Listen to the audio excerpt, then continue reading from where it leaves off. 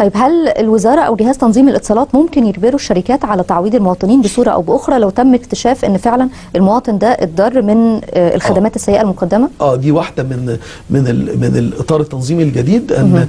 إذا إذا ثبت أن هناك تق- تقصير من الشركة أضرت بالمواطن ولا أضرت بالخدمات يمكن لجهاز قائمه تنظيم الاتصالات أن يوقع غرامة على.